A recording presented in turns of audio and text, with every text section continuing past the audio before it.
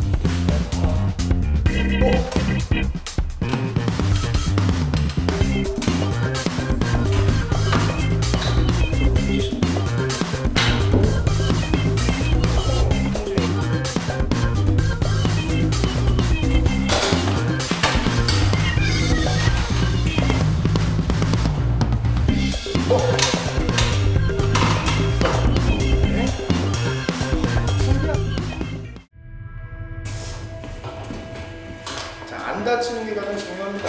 목! 조심 조심. 엘보 볼. 마음이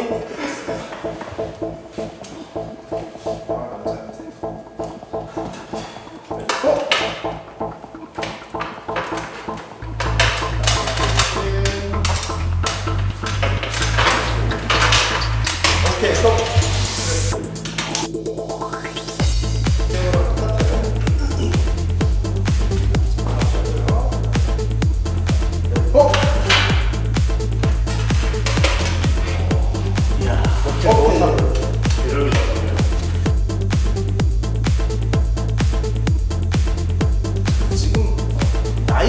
가고 있어요. 이제 올해 58이신